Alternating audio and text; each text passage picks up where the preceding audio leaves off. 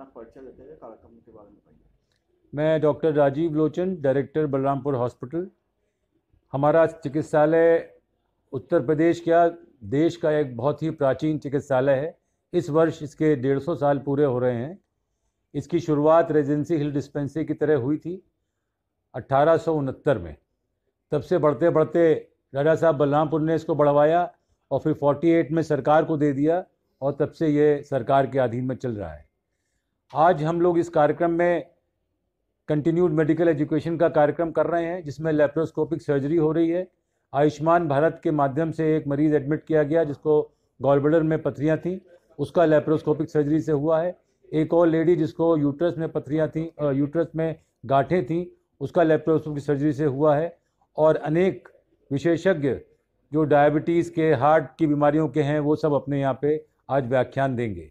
इसी कड़ी में सुबह डॉक्टर एस सी राय, जो यहाँ के बहुत फ़ेमस सर्जन रहे, पद्मश्री रहे, लखनऊ के दो बार मेयर भी रहे, उनकी याद में हमने गत वर्ष से एक ओरेशन शुरू किया है, doctor S C Rai memorial oration गत वर्ष डॉक्टर निर्मल गुप्ता ने दिया था, इस बार प्रोफेसर सुनील प्रधान, जो संजय गांधी के एक बहुत ही एमिनेंट प्रोफेसर हैं, दुनिया में उनका नाम है। आज उन्होंने अपना लेक्चर दिया, जिसमें उन्होंने बताया कि रिसर्च कैसे करनी चाहिए। और भारत में भी रिसर्च हो सकती है और बड़ी गुणवत्ता की हो सकती है। यह बात उन्होंने सबको बताई कि हमें इस पर ध्यान रखना चाहिए कि हम हमेशा रिसर्च के लिए कुछ ना कुछ खोजते रहें। इसके बाद कल हमारा एक रंगारंग कार्यक्रम होगा और परसों माननीय मुख्यमंत्री जी पधार रहे हैं हमारे चिकित्सालय में और बहुत सारे काम जो पिछले साल से हम लोग कर रहे हैं, उसमें से कुछ काम कल वो जैसे कि आईसीयू बना है हमारा, उसका लोकार्पण करेंगे। एक 16 स्लाइस का सीटी स्कैन शुरू हो गया है, उसका लोकार्पण करेंगे और 10 बेड का वृद्धजन वार्ड शुरू हुआ, उसका लोकार्पण करेंगे।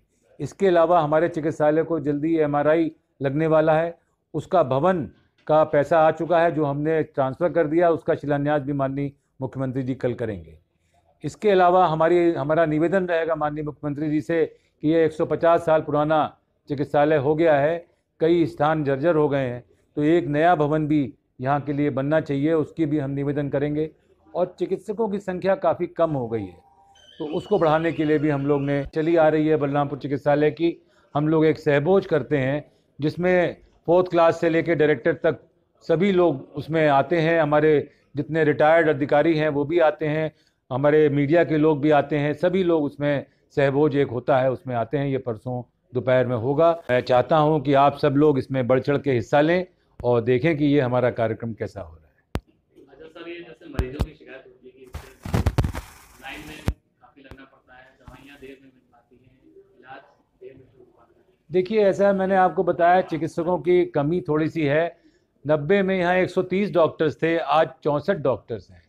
तो वही कमी के लिए हमने माननीय मुख्यमंत्री जी से भी निवेदन किया है मंत्री जी से भी निवेदन किया है। बाकी जब सुविधा बढ़ती है तो संख्या बढ़ती है। प्रमुख मांग क्या रहेगी हमारी प्रमुख मांग यही है कि हमें एक नई बिल्डिंग दी जाए और हमें चिकित्सकों की संख्या हमारे यहाँ कम से कम डेढ़ सौ करी जाए। तभी वो कार्य जितना यहाँ पे लोड है, आठ हज़ार से बारह हज़ार की हमारी ओपीडी का लोड है। पहले हमारी तीन लाख पैथोलॉजी जांचें हुआ करती थी, हमने उसको चौबीस घंटे कर दिया तो अब नौ लाख जाँचें होती हैं। और हमारा आईएसओ सर्टिफाइड हमारी लैब हो गई है तो गुणवत्ता इतनी अच्छी है कि लखनऊ में शायद सबसे अच्छी लैब हमारी है। तो ऐसे में काम तो बढ़ रहा है उस काम को करने के लिए डॉक्टर्स तो चाहिए ही पैरामेडिक्स भी चाहिए। दवा हमें काफ़ी मिल रही है उसको बांटने में कई बार दिक्कत आती है ऐसा मालूम पड़ा है। उसको हम लोग स्ट्रीमलाइन कर रहे हैं भविष्य में यह परेशानी भी नहीं रहेगी। हैं